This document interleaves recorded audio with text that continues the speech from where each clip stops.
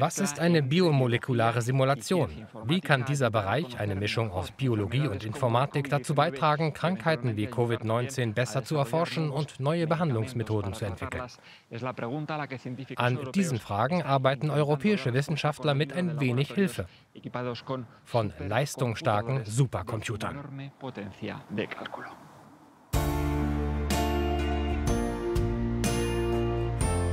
Wie viele andere Forschungsinstitute in Europa untersucht auch dieses in Barcelona das SARS-CoV-2-Virus, um wirksame Therapien oder Impfstoffe zu entwickeln.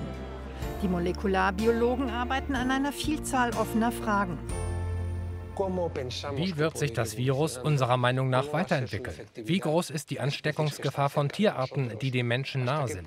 Inwieweit wird eine dieser Tierarten zu einem langfristigen Virusreservoir? Wie können wir neue Medikamente gegen Covid-19 entwickeln oder deren Entwicklung unterstützen? Wie können wir zur Entwicklung effizienterer Impfstoffe beitragen?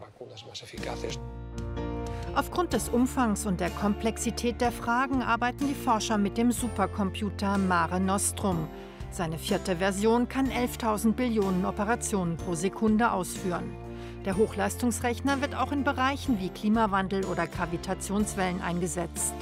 Jetzt unterstützt er auch die Forschung von SARS-CoV-2. Wir helfen Forschern dabei, ihre Probleme auf einfache Art und Weise zu beschreiben. Sie können alle Ressourcen des Supercomputers nutzen, an mehreren Aufgaben gleichzeitig arbeiten, um schnell eine Antwort zu bekommen.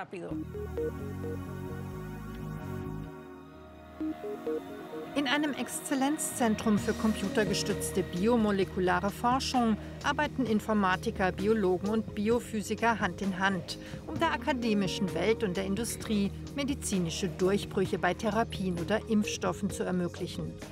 Integrative Modellierung und molekulare Simulation werden bereits eingesetzt. In Stockholm wird beispielsweise untersucht, welche Rolle Proteine verschiedener Viren bei Infektionskrankheiten spielen.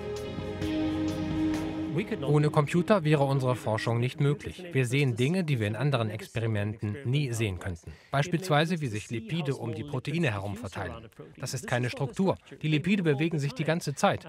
Und das können wir mit keiner anderen Methode beobachten.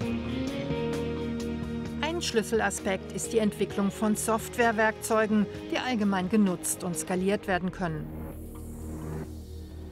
Wissenschaftliches Rechnen ist ein sehr schwieriges Gebiet. Wissenschaftler müssen komplexe Algorithmen entwerfen, um die Wissenschaft in Begriffen auszudrücken, die Computer berechnen können. Wir müssen also komplexe Algorithmen entwerfen, die die Softwareanwendungen leistungsfähig und komplex machen. Eine große Herausforderung besteht darin, diese leistungsstarken Algorithmen so zu gestalten, dass die Anwendungen benutzerfreundlich sind. Sind Supercomputer die Zukunft für die Entwicklung von Medikamenten und Behandlungen? Geben Sie dieser Wissenschaft fünf oder zehn Jahre Zeit. Meiner Meinung nach werden in Zukunft Computer die treibende Kraft sein, um neue Medikamente innerhalb von Wochen oder Monaten zu entwickeln. Wir sind noch nicht ganz so weit, aber die Arbeit in ganz Europa beschleunigt die Entwicklung.